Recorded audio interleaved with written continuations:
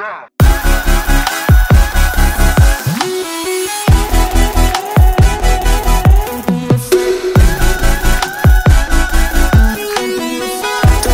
Hi everyone, welcome back to my channel. So for today, I'm going to be reviewing some brand new products that L'Oreal just released. It is part of their Infallible Pro Glow Foundation kind of little set. And it is the Infallible Pro Glow Longwear Powder. It's this one right here, as well as the L'Oreal Infallible Pro Glow Concealer. I also picked up a brand new um, L'Oreal Pro Glow foundation in the color Buff Beige. This is usually the color that I use.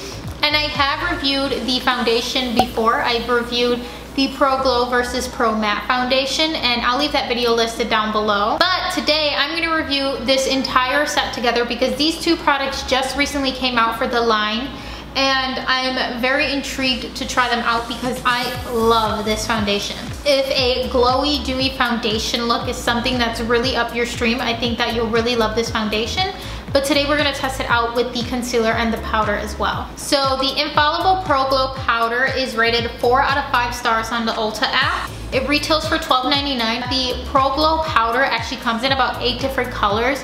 So there's eight different shades to choose from. The color I chose was 24 Natural Beige. It just seemed like something a little bit more around my color. And if you look closely into the powder, the top section has this kind of shimmery shade and then the bottom section is matte. What you can do with this is actually mix both powders and then just apply it all over your face. Or you can use the bottom powder all over your face and then you can use the top section almost like a highlight for different parts of your face if you wanted to. The Infallible Pro Glow Concealer is given three and a half out of five stars on there so I'll see how I feel about that. It also comes in eight different colors. The color I picked up is Nude Beige 03 and you would basically use this as you would with any other concealer. As for the Pro Glow Foundation, I have talked about this before and I use this in so many different videos as well. It lasts a really long time, it leaves you with a glowy dewy finish, and it feels very lightweight on the skin which makes it perfect for summer or even all year round if you just want to have a glowy dewy finish all year round. Totally up to you. I like the idea. So I have my hair up for this video just so that it's not really in the way. I am gonna first start off with foundation. I actually enjoy the process of putting foundation on before concealer just because at the end you won't really have to use that much concealer.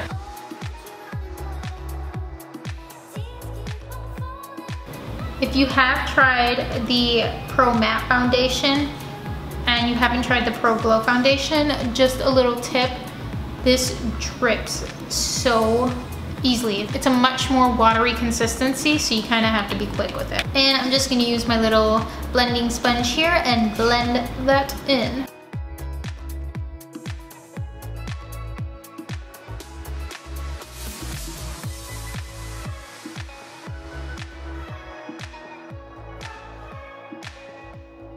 All right, now that foundation is on, I am gonna go in with the Infallible Pro Glow Concealer because mama got some dark circles right here, so we're gonna fix that up.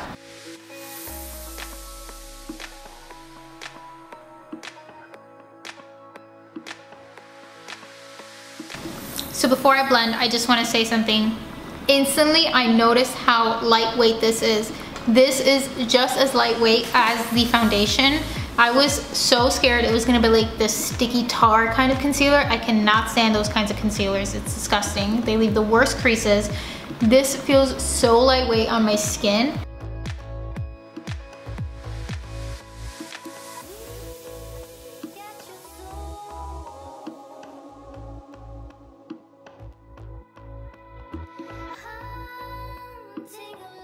So lightweight on my face right now. Like I literally feel like I have nothing on. It's just very, very lightweight. Very, very creamy, super easy to blend, very hydrating. I don't see as much creasing. I was expecting some creasing. I mean, that just happens with concealer, let's be honest. Even when people say, oh, I don't see creasing, there be creasing.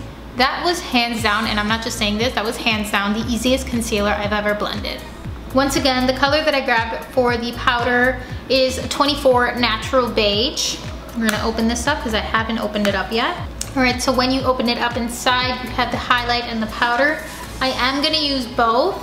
Um, but I think I'm gonna use the powder first separate and then the highlight separate just because I don't know how I feel about an entire shimmery face. I just wanna swatch the top on my hand. Don't know if you guys can see that, but that's quite shimmery. By the way guys, it does come with a sponge underneath, but I wanna use a brush. So got that here. And we're gonna apply this where I put the concealer first. This is the matte powder. Okay, so I did pick a good color, but I'm seeing now with the matte powder that it's kind of taking away that glowy look. Yeah, it's like slowly starting to take away the glowy dewy finish. I'm gonna stay away from the powder, but I do wanna use the highlight. I'm gonna actually grab a smaller brush for that one.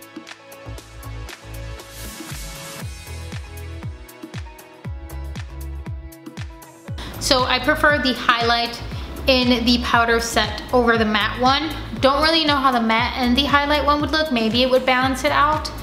Um, but I don't, I didn't like that when I applied the matte under here. It kind of took away that glowy, dewy finish. So luckily I did not apply that on the rest of my face and I just started under the concealer and I realized, wait, stop, don't do it. So that is the final foundation concealer and powder all on the face. I really, really actually like the way it came out. As mentioned, I flippin' love this foundation, so it wasn't really a surprise to me that I love the highlight in the powder as well as the concealer. The matte powder, not as much, but at least you have the option to use one, the other, or both. That is gonna conclude this video, guys. Thank you again so much for watching. As always, if you are new to my channel, make sure to subscribe because I make videos every single week. And as always, I'll see you guys in my next video.